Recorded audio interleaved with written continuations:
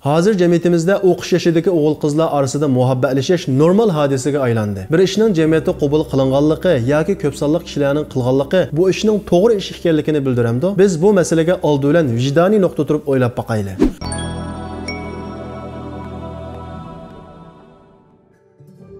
Hozir vatanimizdagi qarindoshlarimizning ahvoli intoyin xatarlik. Bir millat yo'qolib ketish oldida turyotidi. Mushundaq holatda biz vatandagi qarindoshlarimizni qutuldirishga harakat qilmay, muhabbat qaynimiga g'arq bo'lsak, boshqa millat bizga hargiz yordam qilmaydi. Hatto Allohmi bizga yordam qilmaydi. Alloh taolo Qur'oni Karimda bir millat o'zini o'zgartmaguncha, ya'ni o'zini o'zgartirishga tirishmaguncha Alloh u millatni o'zgartmaydi deb aniq aytgan. Mushundaq holatda millatning istiqboli shu mazlum qarindoshlarimizning umidi bo'lgan yoshlar havoy havaslarining keynik kirib muhabbat qaynimiga g'arq bo'lsa shu mazlum qarindoshlarimizni qutuldiradigan qobiliyatli yoshlar hargiz yetishib chiqolmaydi chunki yoshlar muhabbat qaynimiga g'arq bo'lganda irodasi bo'shaydi o'qish natijasi tuvallaydi uning g'oyasi millat emas yaxshi ko'rgan qiz bo'lib qoladi bir g'oyalik yosh muhabbatining quliga aylanib qoladi vatanda sizdan umid kutayotgan va siz tufayli qamoqxonalarda yetayotgan ota onalaringiz va urug' tuqqanlaringiz sizning bu holatingizni ko'rsa sizga nimada siz ularning chiroyiga qanday qaraysiz bu savolning javobini sizning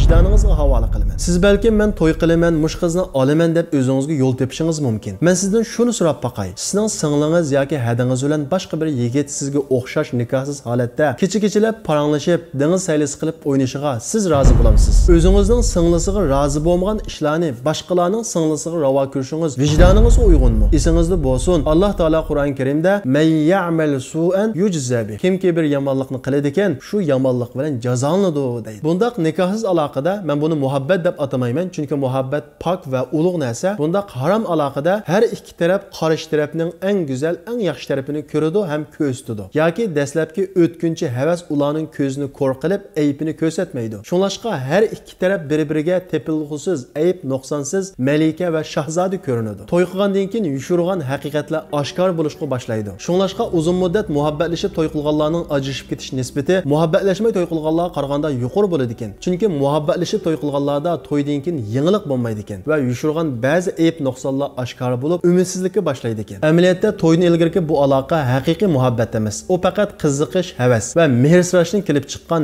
mehr izlash haromning beshi huzurliq bo'lgan bilan oxirisi azob. Esingizda bo'lsin boshqalar ko'midi deb qilgan harom qiliqlaringizni Alloh ko'radi. Har biridan sizdan hisob oladi. Payg'ambar alayhissalom ko'zmi zino qiladi qo'lmi zino qiladi tilmi zino qiladi putmi zino qiladi deydi. Yoshlarning xiyoliga undaqda biz qandoq to'y qilamiz degan savol kelishi mumkin? Bizning dinimizda bir o'g'il bir qizni olmoqchi bo'lsa shu qizning dadisi yoki igidorchiligidagi odamni izlaydi. O'g'il qiz bilan to'y qilishni ilgari chuqum ko'rishi uchrashi kerak. Chunki bu payg'ambar alayhissalomning tavsiyasi. Bir sahoba rasulullohning qishig'i berib ey rasululloh man palon ayol bilan uylanmoqchi dedi payg'ambar alayhissalom. U ayolni ko'rdingmi? deb so'radi. U sahoba yo'q deb javob berdi. Berib ko'rgin chunki ansarlarning ko'zida bir narsa yana bir o'xshamaslik bor dedi. Shuning uchun to'y qilmoqchi bo'lgan yigit qizni qiz yigitni ko'rishi va uchrashi lozim lekin uchrashish xoli yolg'iz yerda emas. Qiz tarafning bilan mahram bor holatda yoki kishilar ko'radigan ommaviy so'rinda bo'ladi undan keyin har ikki taraf o'zining qarorini beradi bizning dinimiz mushayag'ichilik yo'l qo'ygan turmush oxiratga tutishadigan ulug' bir bog'cha bu bog'chani harom bilan boshlamang o'qish hayotingizni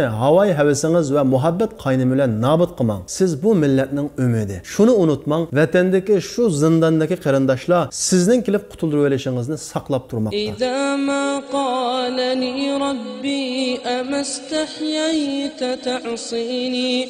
وتخفي الذنب عن خلقي وبالعصيان تأتيني.